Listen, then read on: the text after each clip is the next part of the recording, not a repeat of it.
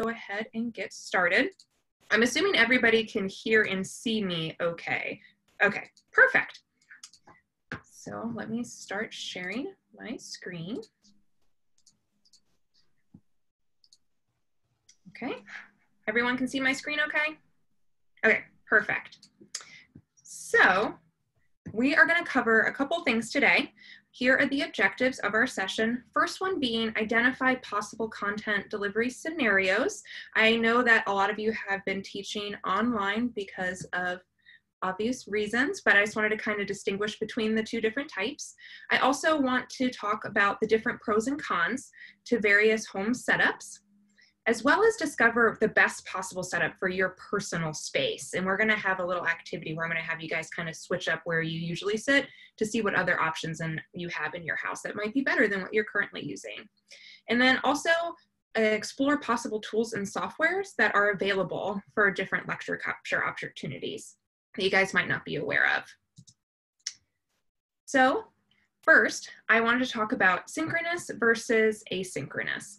And so these are the two main content delivery scenarios. Synchronous being when you have a designated time and place to meet, kind of like what we're doing right now. So you knew on Monday to sign onto my Zoom link at three o'clock. And so that way you're gonna see me and be able to interact with me.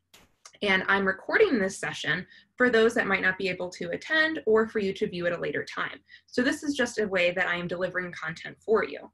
And then you have the asynchronous, which is where it's more flexible and you don't have a designated time and place. I'm going to pre-record information that will be distributed to you and you can view it at your own convenience.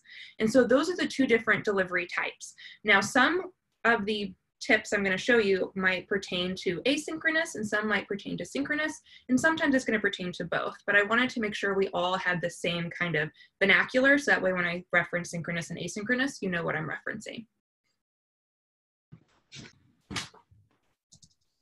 So I see we have some more people that have joined us. Hello. So out of curiosity and just kind of hold up your hand, how many of you guys have taught online before prior to the pandemic because I know now all of us have experience with it.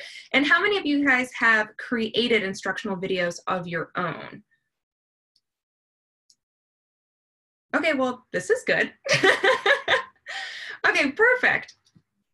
So I'm going to talk firstly about how to make yourself look best on camera. And so I'm going to give you some tips and tricks and as we talk through them, some of them might pertain to your setup and some of them might not. But this is hopefully just to kind of get you guys thinking about different options and things that you can do to make yourself look, quote, best on camera. So you're gonna see some unattractive photos of me throughout this presentation because I hate taking screenshots of myself. So the very first thing of how to make yourself look best on camera is I'm currently in a space that I have a huge window and I'm very lucky to have beautiful sun and everything like that. But when I first went in my office, I wanted to put my desk so that way I kind of had the sun behind me. And then you can see on the right hand side that depending upon how big your window is and placement, a lot of cameras can auto expose themselves to make the background outside look nice and bright, but it causes you to look dark, which we don't want to do because obviously they can't see anything about your face. And so when you position yourself to either be in front of the window, meaning facing the windows facing you, and I'll have a picture to show you, or on the side, it will light you so much more evenly. And so it can really make some of like the dark shadows and flaws go away. And so when you have a window that is in your space, instead of positioning yourself to be with your back, so your camera and your webcam is facing the window, try to put the window on the side of you or in front of you, like you see in the pictures here. Now, I will say, this room that I have in here, I have a very, very bright window, and I'm gonna open my blinds so everybody shield your face. Um, so when I open them, even though the window's on the side of me, because I'm so close to the window, it can get very blinding. And you can see how it's kind of auto exposing again and how uh, you are seeing how bright this is, but you can't see the features of my face. So that's why I have these blackout curtains here to help hide that. But again, if I move my camera, and bear with me, I'm going to move my, can you guys see the difference that that made? Such a big difference. And then if I'm in front again, it's gonna make me a lot darker. So give me one second. I'm gonna set up my, my setup again because I had to move this. And one thing that I do, because with big windows in my office, it can get a little toasty in here because there's not a lot of air circulation. So I close my blinds and I added a lamp right here. And you can see when I turn my lamp off, how dark my features can get. But when I just put on a simple light, how now you can see my facial structure and kind of my mannerisms and things a little better than what it was without the light. Do you guys see that difference there? Okay, perfect. Let me plug this back in and I'll go back to sharing my screen. Give me one second.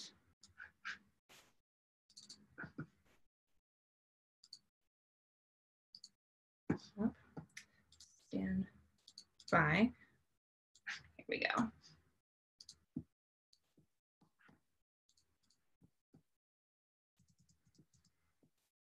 Okay. Can everybody see my screen again? Okay, perfect. I'm gonna go a lot of back and forth between sharing and unsharing my screen so you guys can see kind of what I'm referring to. So if you get dizzy, I'm sorry. I'm gonna try to do my best to not do that as much. Actually, there was a question about the lamp, if it was special. Okay, let me pull up the question. What kind of light? It was not special. I actually grabbed this light from my daughter's um, bedroom. It usually has a lamp shade on top of it, but a lamp shade can cause it to kind of get dimmer and not as much light is going to go through. And because my office is a little darker by just my overhead lighting, I took the lamp shade off. And so that way it kind of illuminates more in the room. But yeah, you do not need any sort of special lighting. And one thing I forgot to mention is everything I'm going to talk through today is I'm going to try to teach you guys a lot of tricks that you have that are going to be stuff that you have in your house already that you might not need to buy any additional equipment. Now, I'm still going to talk through some recommended equipment if, let's say, you don't have a light or you're in a noisy environment, some tools that you can use to make it a little better. But everything I'm going to talk through is should just be stuff that I hope that you have in your house already. But good question. Sorry I didn't mention that earlier. So I see that we have some people that are wearing glasses. And this is something, I have blue light glasses that I'm sure some of you guys have seen me wear. And my typical setup, and I'm gonna turn my light off. I'm gonna stop sharing my screen so you guys can see me a little better. So when I put my glasses on, do you guys see all the reflections that I have in my glasses, which is pretty typical when it comes to glasses. And it can happen for two reasons. One reason being that the room isn't properly lit and isn't well lit. So you can see when I turn my lamp on, a lot of those glares go away, but not all of them. Now, if you take your glasses and tilt them downward, so instead of wearing them like this, you tilt them with the glasses down with the kind of the what are these called? Earpieces up. It can remove a ton of that glare. And that's a trick that I do all the time with a lot of people that I film that are wearing glasses.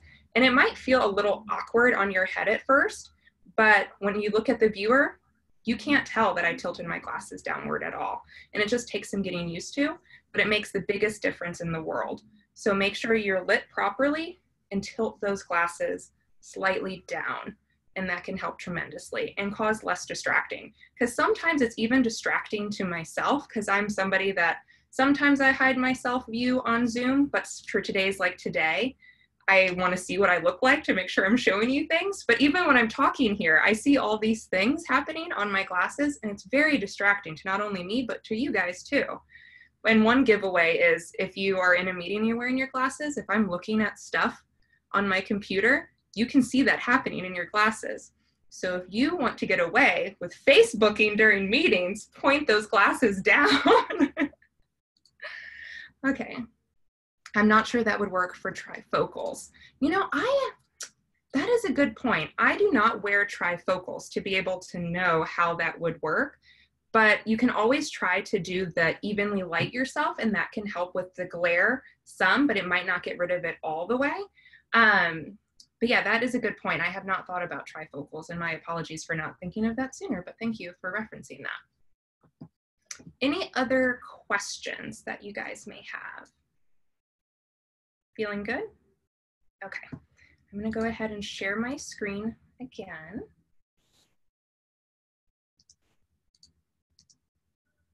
Okay, so this is a question that I get a lot of the time. Does my background actually matter? And the answer is yes. One of the reasons being that your background says a lot about who you are professionally. And so when, let's say, I am giving you a lecture about the importance of instructional design and all of that fun stuff, something very important, but I'm sitting with my children's ball pit behind me, all these different kitchens and toys right here, and that kind of immediately is like, wait a second, that's kind of weird and odd that you're talking professionally, but you have all these kids' toys behind you. So it's something that you need to think about of how you want to present yourself, and we want to make sure you come off professionally. And one other thing is not only is it kind of how you come off, but it also can be distracting to viewers. One thing, a clock right here, some people, let's say that you pre-recorded it, some people could be looking to say, my instructor recorded this at you know, 11 o'clock at night. What is she doing up at 11 o'clock at night? Or you can see where it got cut because the clock did say 10 o'clock and then it cut something out and now it says 5 o'clock. And so people can see things like that and they're like, this is weird and odd. But also, it can be distracting to just kind of look at some of these toys behind me. And I know one meeting, Jenny was mentioning that this plant I have behind me, she found semi distracting because she was like, Is it real? Is it fake? What is that thing? And I have a piece of artwork over here too that some people ask too. So certain things in your background that you might not find distracting, other people might be like, wait a second. And I even have a photo over here too that people could be glancing at. So kind of those things, think through what your background is saying about you and how it could be distracting to a viewer. And I know a lot of us don't have right now, it's an interesting situation because we don't really have a lot of options, but we can try to make things work. And one thing that I did in this picture is I just turned myself and I tried to put myself as closely up against a wall as I could. And so that way I was like, there might not be as many distractions because I have a picture and a door. And nobody can see what's behind the door, even if I have a messy bedroom or anything like that. But it can really help make sure that you come off professional as well as not provide as many distracting options for viewers.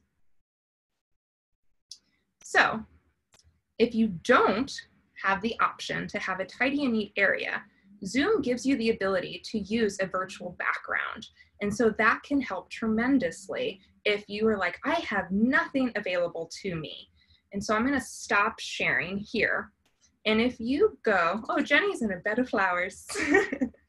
and so if you go down to your Zoom controls, and if you haven't done this yet, it should be on the bottom left. It should be next to a microphone and a video camera. And next to the video camera, you should have like a little caret pointing up, a little caret.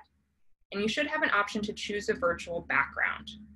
And from there, you can choose an automated one or you can choose and upload your own.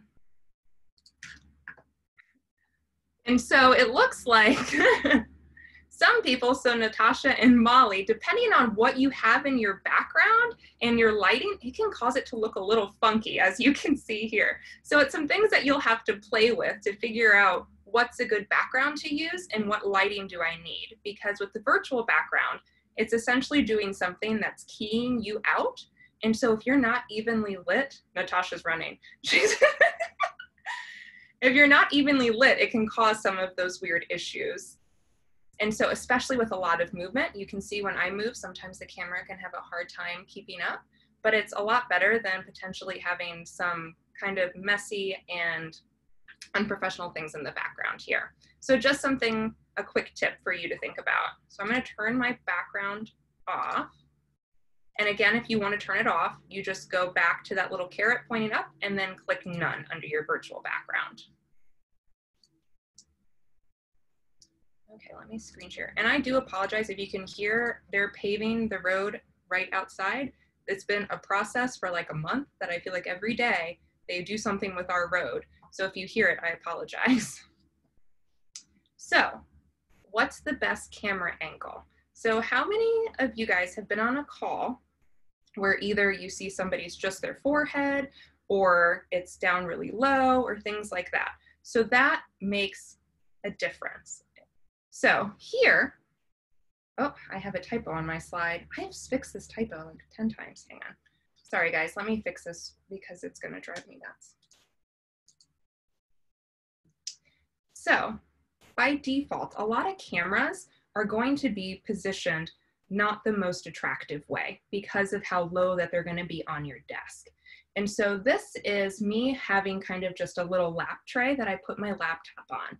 And you can see how unflattering it is in my chin area because it is darker and it also kind of looks like a double chin that's coming off. But if you move your web camera and you and you physically lift it up, it can make you look so much better and it gets rid of some of that dark glare and the possible double chin look.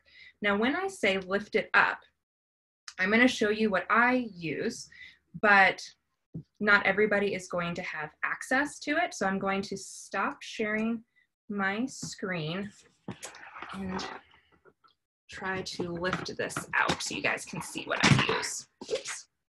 So this is just what it would look like with just on my desk. And I use something that's called a roost stand that my camp my laptop physically goes into. And I know that a lot of you probably don't have a roost stand, but what it does, you can stack books on top of one another and try to get your camera at eye level. And that can help tremendously depending upon how the angle of your camera is. Does that make sense? Okay. I'm going to move this up. I apologize. I'm going to mute my mic because I'm sure it's very loud for you guys when I'm moving around.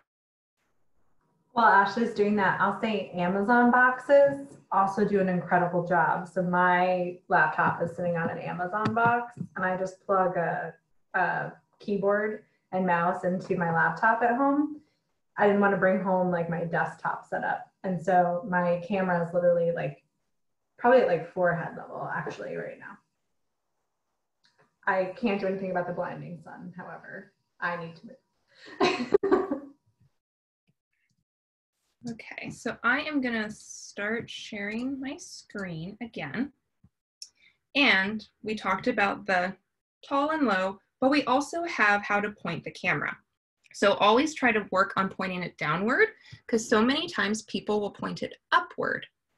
And you can see most of my ceiling and my eyes you want to be able to see my full face. Nobody cares about the ceiling, and everybody wants to be able to see your mouth and your facial expressions, especially if you're recording an instructional video. It can be very distracting if you are recording yourself, and even in a Zoom session like we are right now. If I was talking to you this entire time like this, I'm sure it looks a little weird and funky.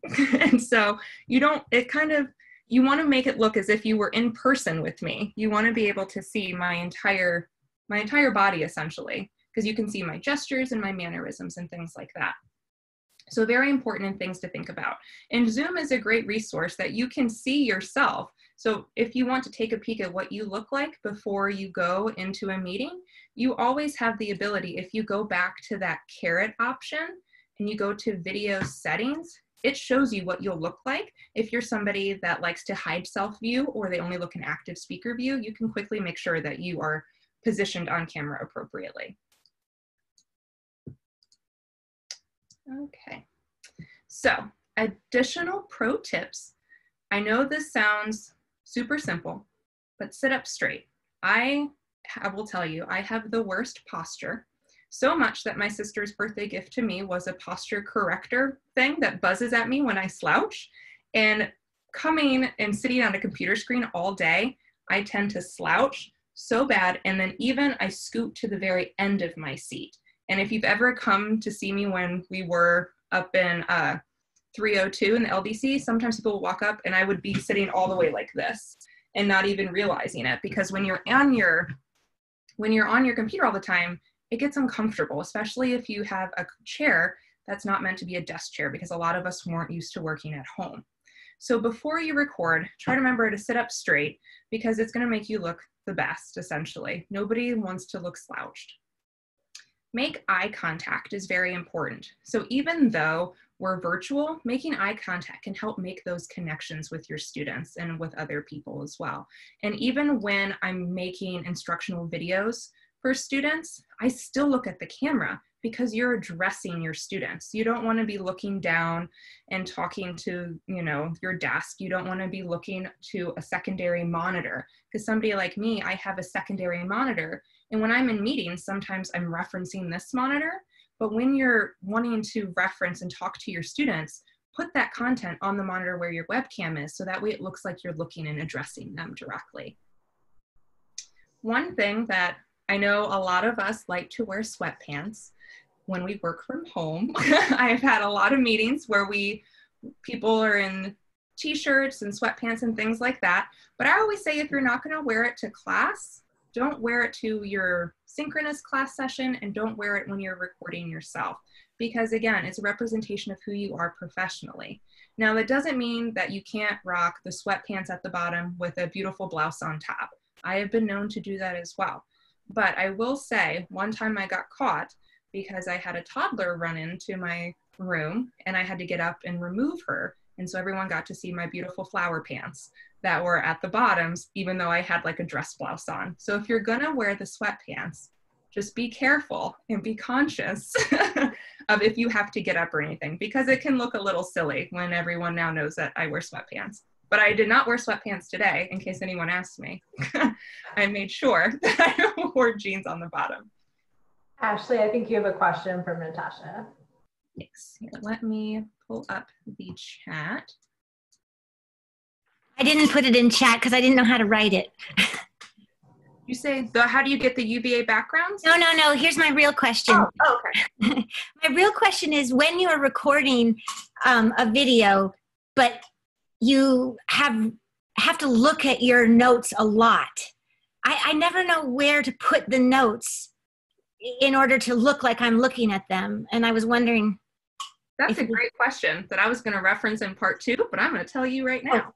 Oh. so, one thing that you can do is make an outline and put it on post-its and put the post-its around your camera on the outside or even slightly above it. And so that way when you're referencing, you will look at the side or slightly above it of your mic instead of, or not of your mic, of your video camera instead of looking down at your nose continually. So if you, and of course we, you're probably gonna have an outline instead of like detailed notes that we don't want you to read off of it. So if you just have quick bullets and outlines that you wanna reference, that's a great way to kind of hide it as well. And then one thing that I am doing as we speak is I have, because I have two monitors, so if you have a two monitor setup, I put my notes on the computer that has the webcam. So when I'm talking to you guys, you don't know that I'm looking at my notes. But on the right side is where I'm sharing my screen and so I can navigate through my screen here. So if you have two monitors, that's another hack that you can do. Does that help? Perfect. So another quick tip is find an area that has minimal or no background noise if you have that option. And I believe, I can't remember who we were talking to. Was it you, Julia, that we were saying that you were on a meeting that somebody had a bird that you could hear chirping during the meeting. And um, and one thing that I say is when you are in a space for so long, you have a tendency of zoning out some of those kind of noises that you're used to hearing. But somebody that comes into a meeting that's not used to hearing a bird chirping all the time or possible kids playing in the background, it can be really distracting to them because they they're like what is that noise chirping or is that traffic that's driving by or in my case a lot of the times i have two children that are usually throwing temper tantrums because they are young and that I'm home. And so you can hear my kids crying sometimes as well. And so I try to find a space that's as far away from that situation as possible so that way it doesn't become distracting. Now, I know that again, it's easier said than done based on the household that you're in. And there is um, some microphone sets that you can purchase, and I'll talk a little bit about that that can help minimize and noise cancel that if you're in an environment that you don't have the ability to go into a room that's quiet to be able to record or conduct your class sessions. And Melissa says that she is near a shooting range down the road. And then um, another option or another tip that I wanted to say is properly secure your camera. A lot of times, a lot of web or a lot of laptops have built-in webcams, which is perfect. And as long as your laptop is properly secured, you don't have to worry about it. I'm talking about if you have an external webcam that some people will put on a tripod or attach it to the top of your laptop, or if you're recording on your phone. And I have had some instructors that record lecture on their phones, but they record it when they're holding the phone. And a lot of times people's hands aren't steady because you gesture or just naturally it's really hard to extend your hand. So find something to properly secure it, whether it's a tripod or whether it's just a stack of books or something to be able to secure your camera. Very, very important. And if you are going to shoot in a mobile device, I always say to film landscape instead of portrait. Landscape is kind of the, uh, the longer way, like this, as opposed to portrait like this. This can help fill the screen. Portrait can help fill the screen and show more content, whereas portrait mode can start cutting off things on the screen. And so if you have that ability, portrait as opposed to landscape. And then lastly, which I'm sure is called touch up appearance. And I always use it only because I have, like I said, small children and concealer can only do so much when you don't get a lot of sleep. So if you want to touch up your appearance, what it does in Zoom is it just puts a light filter over your face to kind of smooth and blend out some of your features. So if you go down to your Zoom controls and you hit that little caret right by your video icon and go to video settings, you're gonna see an option that's called touch up appearance. That's a little checkbox. Does everybody see that checkbox? So if you check it on, you'll see that like a light glow goes over your face. So I'm gonna turn mine off. Don't be scared, guys. so it's turned off now. And then when I turn it on, it kind of smooths out some of my facial features. And so that is something that you can do that a lot of people don't know about, but it can make, at least for me, I feel like it makes a difference. It makes me feel better about myself, especially if I have to go into a meeting and I call it a no makeup day. I put it on and nobody will know. okay. So we are now going to have you try it out yourself. So we, I'm going to give you guys about five, five minutes, and I'm going to have you turn off your cameras and try to find a place that's in your house that you haven't used before and try some of these tips to try to see how to make yourself look better. Now, if you're not on a laptop, this is going to be a little harder for you, and you can either join on your mobile device or you can just try kind of moving your desktop if you can and kind of just think about some of these things or position your background a different way or find a virtual background that might be better for you. But just kind of start thinking about some of these things and see if you can find a spot that you might have not thought about before that's going to be a great setup for you. So go ahead and turn your cameras and microphones off and then try to find a different location just to see maybe you'll like that better so I'm going to give you guys about five minutes. And when you're back, go ahead and turn your cameras back on. So that way I know that you're back.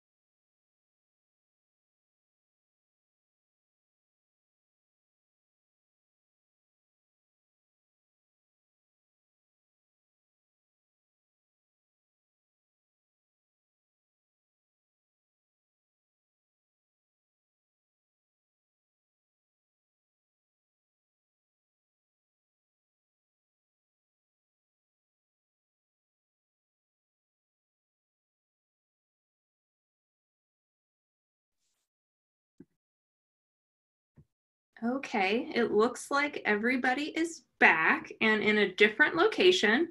So I wanted to take this time. What did you guys think? Was it hard to find a spot? I saw some people, Natasha said everything is distracting or there's not air conditioning in some of the rooms. So, what were some of the things that you took into account when you finding your space? And what were some of the hardships that you might not work for your space? And we can try to think of a way to make it better if you can.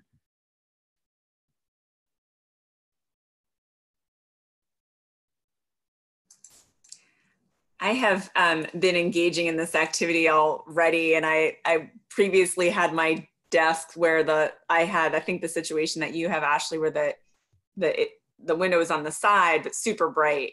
So I ended up moving everything. Actually, moved this desk like all the way back, so the window is over here. But now I'm finding it's too far away. Like it's too far away from the window. So I what I did just now is like I'm sitting using a box, sitting on the floor, um, to get to kind of figure out where the light is better. Like this isn't sustainable how I'm doing it right this second, but that's what my process was. And I'm wondering, should I can I move the desk up here? Yeah, you can if the window is in front of you as we speak, you could move your desk because right now I shifted myself so the window is right in front of me and I don't have any lights on now. I'm all being lit from the window. And to be honest, it looks better when it's getting lit naturally from the window. But because my space I like having it angled there because you guys probably don't know, but I have a humongous treadmill in my office as well and other furniture. And I was like, I would love to be lit like this all the time. But because of the other furniture I have, I chose that setup. And so I tried to make that setup work with what I had by adding the light in the room, darkening curtains, and kind of trying to make my background less distracting. But apparently the plant is very distracting. so I'll have to move the plant. Um, but those are some things to work with that you can try to move your desk closer to the window if you wanted to, or even if you wanted to angle, you could always have your desk kind of point. A blank wall can work perfectly.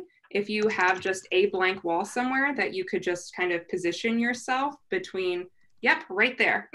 and is that is that what you usually do, Melissa? Is that blank wall behind you? Yes, it is. It just it seems like it's I'm too far from the window and it almost looks too blah. Like I've been like looking, I'm like, that is so boring.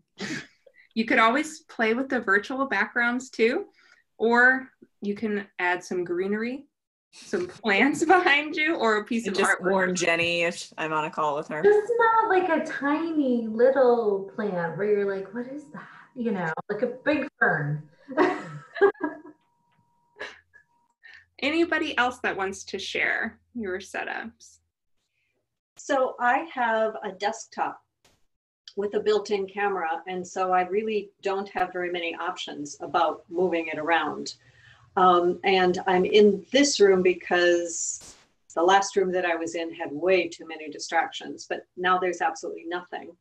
And the um, the lighting is really hard because I've got a window next to me uh, with, so I tend to have just half of my half of my face is in the shadows. I turned a light on to try to compensate for that, but it, it, then it's glaring in my face while I'm trying to work, and that's just not sustainable. So I've angled it upwards a little bit. It might be a little bit better, but it's a little dark. Mm-hmm. Um, I just am really, I've been struggling with this since, uh, let's see, the second week of March. So, what light did you turn on? Is it a lamp or is it an overhead light? It's a lamp. That's it's a stand lamp. The light is up very high. Okay. Can you try? And I don't know if you're available to do this now, but you don't have to do it right now or maybe after. Where is the light source coming from? Is it in front of you or have you tried putting it to the side of you? It is to the side of me. And uh, well, it's sort of slightly in front, slightly to the side. It's right there.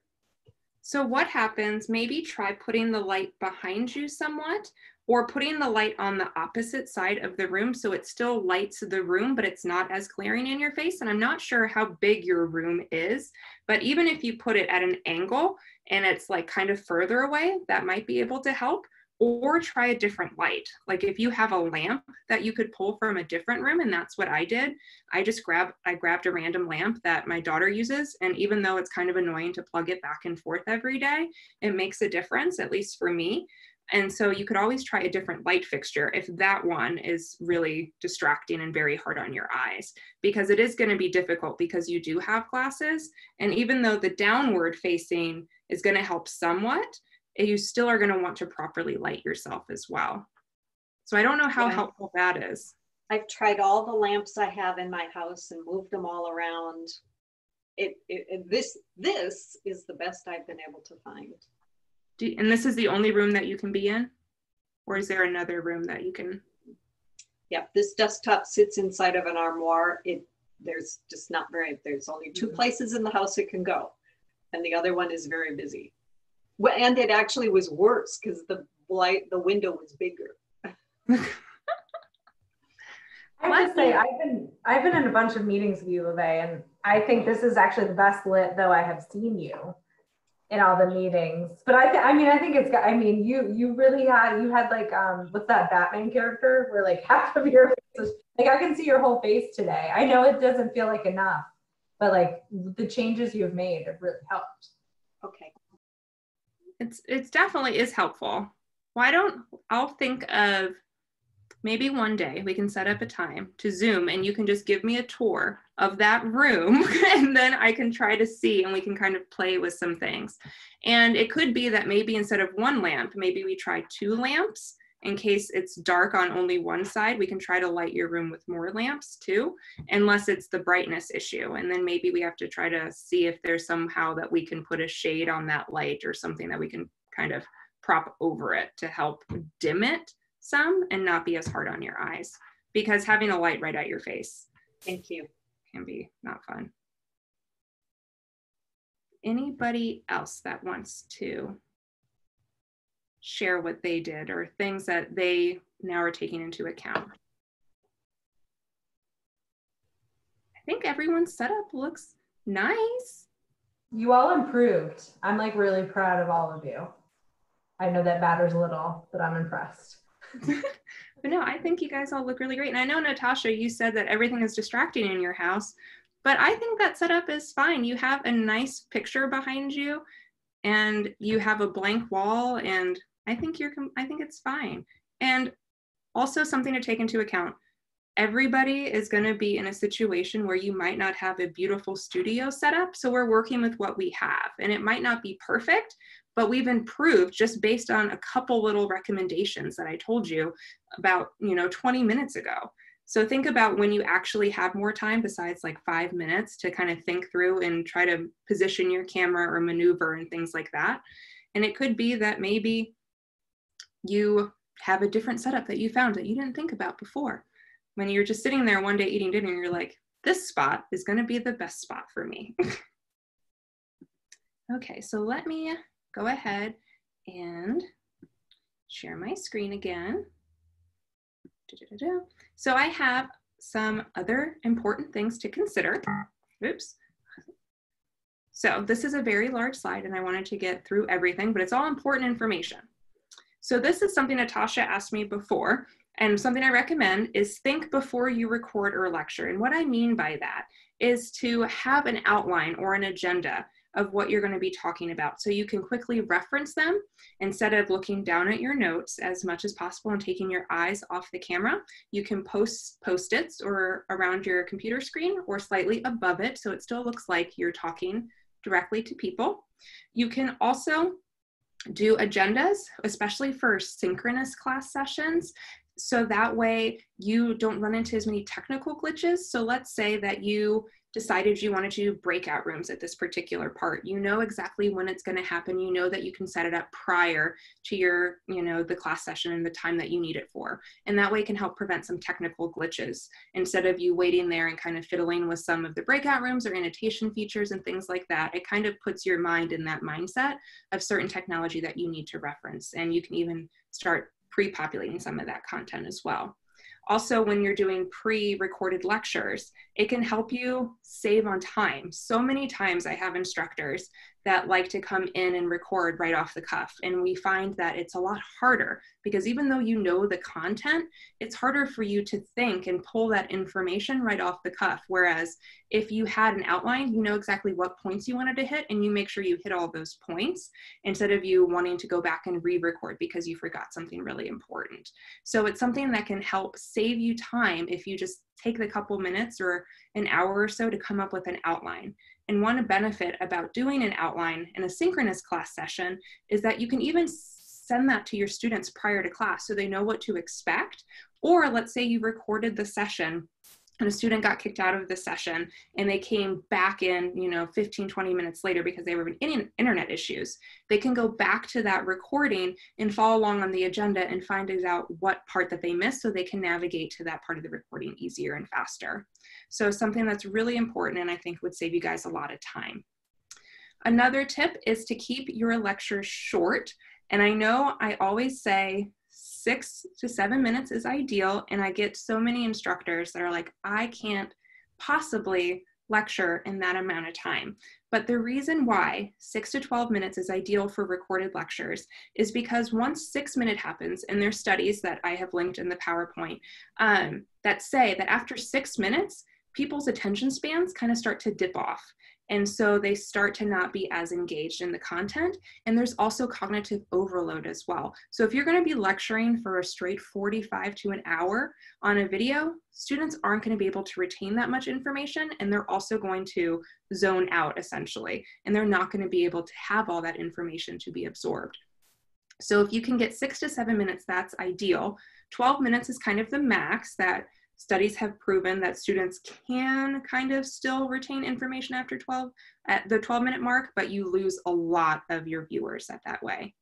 And so i always tell instructors that I say six to 12, but if you can't meet all your objectives in that time frame, it doesn't mean that you can't chunk your content and make multiple videos about certain topics. Or if you wanted to break it up into very topical videos, you could have three videos that they watch that are five minutes apiece. I think you're gonna have a way better attention span for your students than if you recorded, you know, a 30 to 45 minute lecture. And that is when I talk about asynchronous. Now, when I talk about synchronous class sessions, I also don't want you guys sitting there and we're lecturing for 45 minutes. Something that I like to implement is a 10 and 2 rule for synchronous sessions. And essentially, that you lecture or give information for 10 minutes or so, and then you pause for a couple minutes to either let them discuss the information or reflect on the information given to them. So you could pose a question, you could have them do a simple activity like we did, where they just kind of think about all the information that was given to them, and now they're going to implement it in a certain way, and just gives them a way to give their brains a break and then you can come back and lecture some more. So it gives them time to reflect and actually absorb that information instead of you just kind of lecturing for 45 minutes at a time. Something really important to note is closed captioning any sort of videos that you want your students to have access to because we have students that might have some sort of hearing impairment that isn't going to be able to present the content to them. Or it could be somebody whose English is their second language and they might not be able to process it as fast as you speak it. Sometimes having captions can help. Or if you have a student that is a parent and let's say they have a baby that's sleeping you can still they can still watch the lectures and read it instead of having that audio go. And i am somebody who i was in school while i had my daughter and so i would do that sometimes. Um, while i was nursing i would or she was sleeping and she would be able to kind of sleep and kind of hang out while i was able to still process and see that information because of those captions.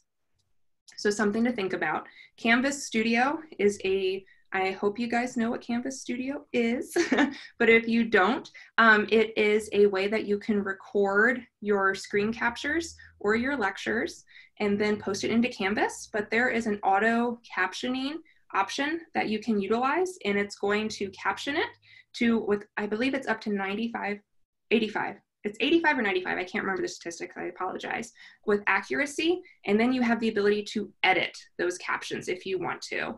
And so i have used them quite extensively with a lot of my videos and i find them to be really accurate. The only time that i see that it continuously messes up is my last name. And so if it's a certain last name like caudill that they're like i'm not quite sure what that is then it's probably going to mess it up. But if your last name is falls it's probably going to pick that up better um, but it's a really great tool and it's only literally a couple clicks and then you can caption your videos. With Zoom, you have the ability to request audio request audio transcriptions for any meeting that you have. It's under your record settings and it's a checkbox.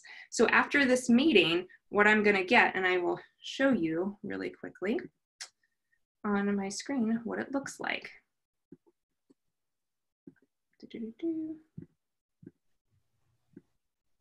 Can you guys see that?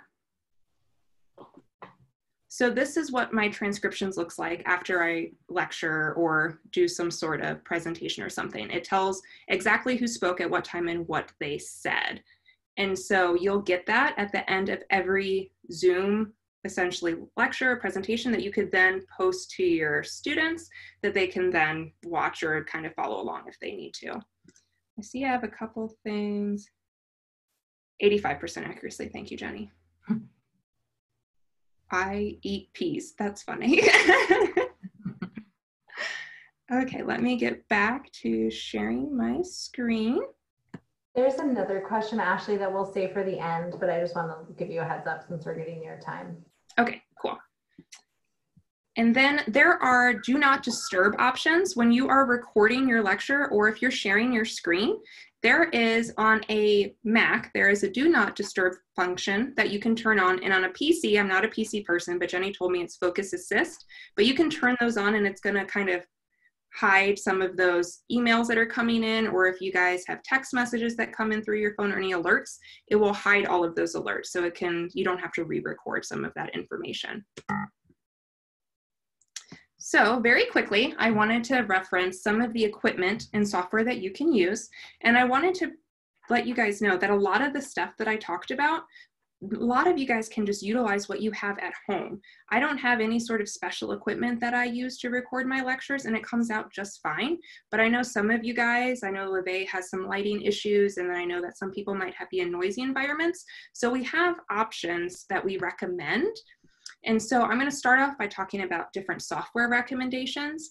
The first free ones that I'm going to recommend are Canvas Studio, which I talked about, and that's all built into Canvas.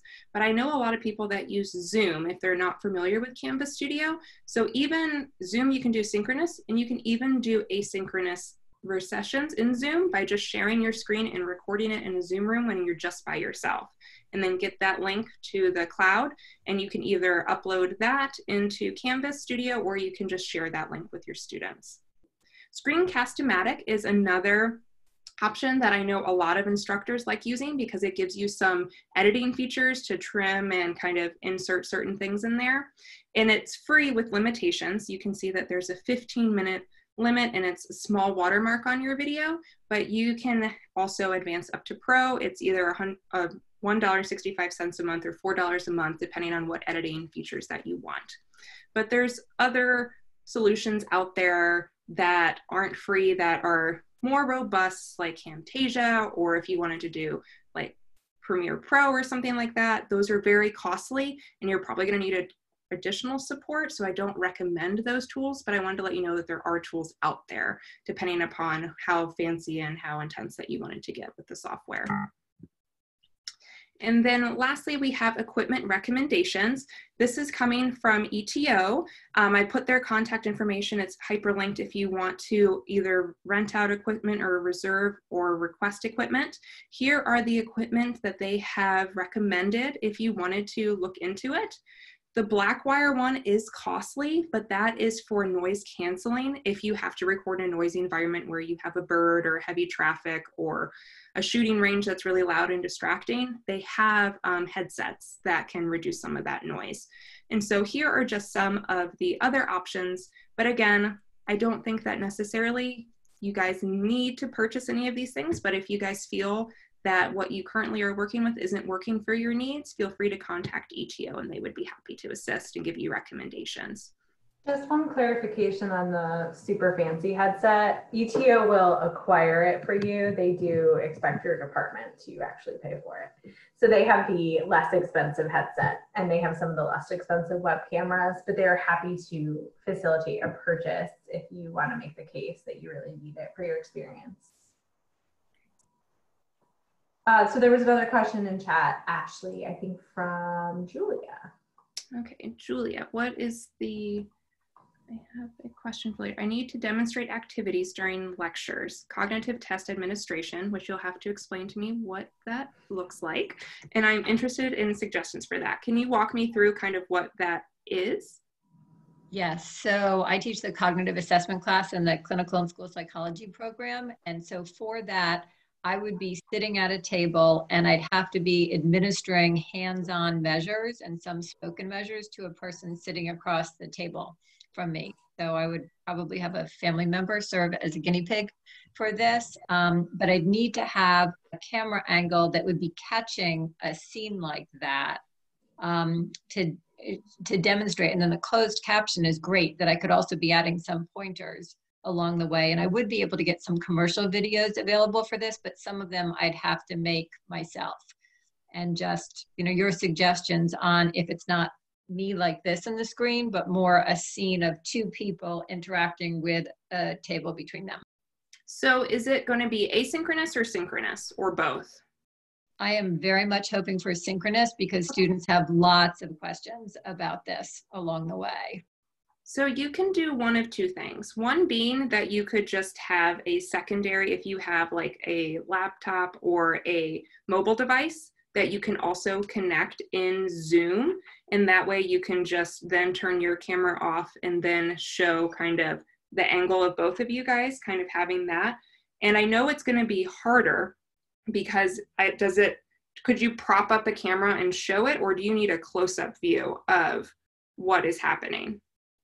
We have ordered some really cool desktop tripods in the clinic that we could send to clients because we're also trying to figure out how to test real people via Zoom. Um, and there are some good tripod options that help hold a phone at a good height and angle.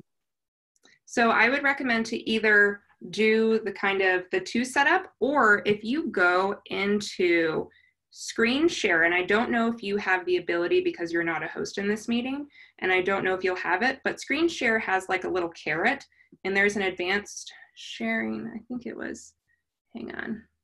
I've done a lot of screen sharing of materials testing people this summer so i have preliminary familiarity but I- so there's an advanced share setting that you can do content from a second camera and so if you wanted to, when it's time for you to do that kind of close up, you could always share content from that second camera. And then that way it kind of gives them that close up and then you can stop sharing and go back to your regular camera. You could also, if you wanted to, you could also, it might be easier, even though I know you wanted to do synchronous, it could be easier to record an asynchronous video so that way you can kind of cut and I can work with you to do that. And then students can ask questions about it during your synchronous class session because then if we do it asynchronously we can do some of those call outs we could do arrows we can practice like zooming in and things like that which it might be more engaging and easier to capture in an asynchronous environment versus synchronous. Thanks that's really helpful. I'm realizing i could go into the clinic on the weekend and use our camera system. Mm-hmm. That's a plug for me, for all of you, to say asynchronous has a place. I know it's not ideal, and I, de- I don't want to take away, you definitely want to have preset recurring time with your students, but as many opportunities as you can find ways to give them some content to absorb, kind of like what Ashley's saying, uh, some segments, some things to watch that they can then watch before class and come to class to discuss and ask questions and doesn't preclude you from pulling up that content during class. But if they get to interact richly with it before class, I think that's where you're going to have a lot of success this fall than trying to do it all synchronously and show everything at once and try to be live all the time. I think you'll burn out. I think the students will burn out as well. And one benefit of recording it is that students can watch it over and over and over again, as opposed to if it's in a synchronous session and if you forget to record that specific session, they're going to miss out on that. And they might be like, oh, I remember she referenced it, but I can't remember exactly what you were talking about. Natasha, did you have a question? Yeah. Oh, I wasn't muted. Whoops. Um, yes. How? So that's what I'm doing. I'm, I started my class today, and I'm just wondering how long should the synchronous time be if you're trying to do a combination?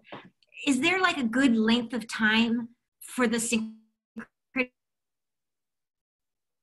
I do so today is crazy, but Uh, Natasha just froze for me. Oh. Okay. I heard how how long is your question? How long a synchronous session should be? yeah, yeah. So what, and Jenny, I don't know if you want to take it since you are the flow model person, but from what we have been proposing is kind of 50% of asynchronous with synchronous learning. So how long is your synchronous, how long was your synchronous session today? It, it was 9.30 to 11, which is half of a three-hour class, but it felt too long. It, it was too long. Did you have any engaging activities built in as, or? I had I had a breakout room um, discussion and a Padlet, but it was yeah, it was Yeah. yeah. I, I'm a fan of an hour and a half personally, but Jenny, I don't know if you feel any differently. But for me, I have a tendency of liking an hour and a half. Okay. I don't, yeah, I don't go over, I try not to go over 75 minutes, so hour 15. So Curry technically, and I feel really bad, embarrassed that I'm like so brightly lit. Like, there's no curtain in this room, and I'm like blinded by the sun. Um, the reason why I, it's the same thing a lot of what Ashley was talking about in terms of just the like Zoom fatigue, right? Yeah. On task. And so, unless you're really segmenting what you're doing and kind of keeping them moving, and possibly even, and it sounds crazy because you're like on Zoom and people are sitting, but physically moving them, right? Like hands up, thumbs, like you know what I mean, like getting them to like move their bodies a little bit. Um, we've all been in, the, you know, this was an hour, which probably felt just right, right? And so you start to go creep over that, and now you've been sitting for a really long time and you're watching yourself sit it's just a very different environment it's very it's exhausting so i'm a big proponent of 75 minutes and curry's classes are actually usually two and a half hours Well, this is a summer school class, so it's a little. right so it's more yeah, i get it But uh, but I agree, and I also have a meeting with Ashley later, t so I can I can pick her brain on everything. Fair. And I know that's scary. I know it's it it feels easier sometimes to plan on synchronous. And there there is a population of students at UVA in particular that love lecture. I'm not you're not going to necessarily disappoint. You might not be reaching them. They might not be absorbing it all, but they, there's a part of them that really loves to hear from you, and they want they do want that. I don't want to negate that, but delivering it in a variety of ways when you can't be with them in person just helps kind of take that edge off and, and like ashley's saying as they interact with small bites of content and even just have to then move from that task to something else whether it's stop and then i have to go to the next video or stop and do a reflection or stop and go to a group anything like that where you're kind of helping them give them those break those brain breaks right to do take on the next task or now apply the information that's what's going to help negate the fatigue of being online all the time